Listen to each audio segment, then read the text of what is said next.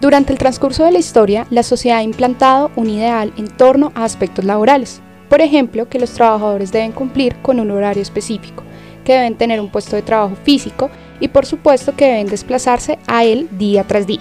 Sin embargo, la sociedad ha ido evolucionando y estos modelos de trabajo también.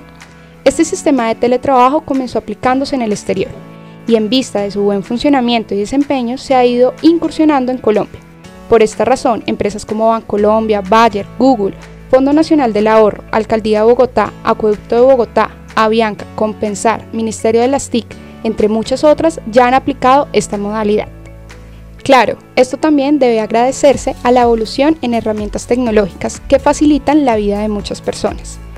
Y es que el teletrabajo no solo beneficia al trabajador, sino también al empresario, ya que optimiza los gastos físicos de la empresa como servicios de luz, agua, internet, aseo, pagos de administración, arriendo, entre otros. Ahora, para implementar correctamente esta modalidad, colombia.com trae unos consejos para ustedes. Primero, Considerarlo de forma seria. Como cualquier trabajo presencial, hay que valorarlo y respetarlo. Segundo, estimular horarios, que sean estrictos y evita las distracciones. Adicionalmente debes manejar bien tus horarios de almuerzo y de descanso, que no sean ni más ni menos. Tercero, espacio adecuado. Deben tener un espacio óptimo para trabajar, que tenga una silla cómoda y una mesa o escritorio. Cuarto, separar las obligaciones.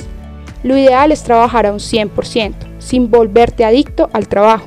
Debes separar el ocio de lo laboral.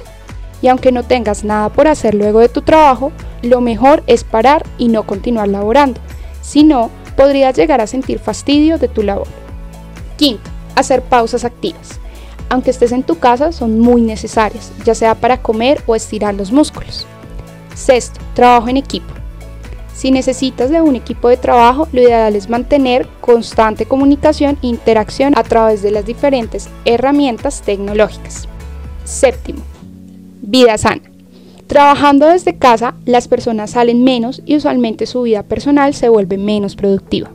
Por esto, debes fijar metas de ejercicio en casa.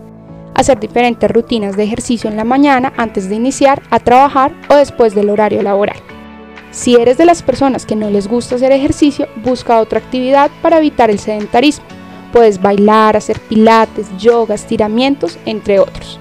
Esperamos que les haya gustado estos consejos y sobre todo que sean muy útiles para todos ustedes. Así que a aplicar nuestros consejos en estos días de teletrabajo y cuarentena.